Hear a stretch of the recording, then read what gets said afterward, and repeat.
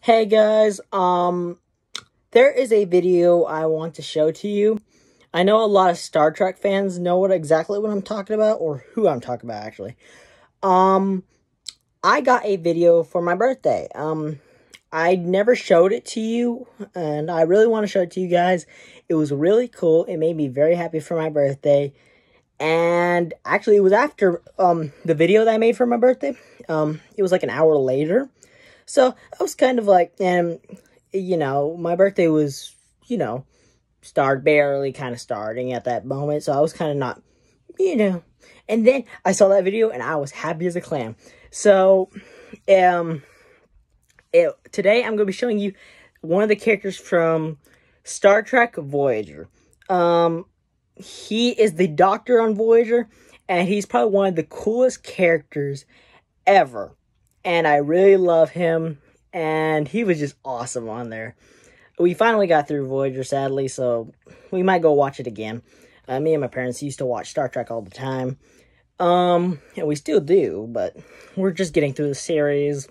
We still haven't watched all the movies. Um, the thing is, I'm going to show you his video right now. Robert Picardo here, and I am delighted to hear that I am your very favorite character on Star Trek Voyager, at least according to your dad, who's asked me to reach out to you with a very special happy birthday message.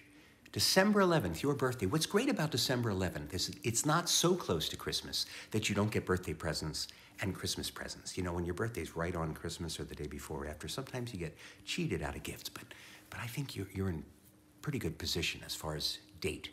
Now, uh, your dad said that he waited until you were about this age to start introducing you to science fiction fandom. I was surprised to hear that because I usually recommend to parents that they don't feed their children unless they watch Star Trek. I'm, I'm kidding. No, that's, that's, I don't do that at all. So, but he waited until you were a young adult at, at uh, 14 years old before forcing you to watch all of Star Trek and all of Stargate. Well, uh, you may not know that I play regular characters uh, not only on Star Trek Voyager, but I'm also Richard Woolsey, who becomes the commander of the Stargate Atlantis expedition in season five. Spoiler alert, I just spoiled season five for you. In any case, I'm delighted that uh, you're a, a young and enthusiastic uh, Star Trek fan, and I want to recommend that you, uh, that you get my Christmas ornament. Now, my children used to always hang me by the neck on the tree. Hmm.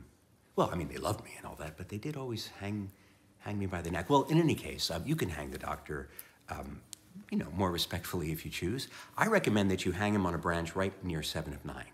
He's happiest that way. So a very happy birthday um, from your dad, of course, and of course, uh, your whole family, and from your doctor. Cheers.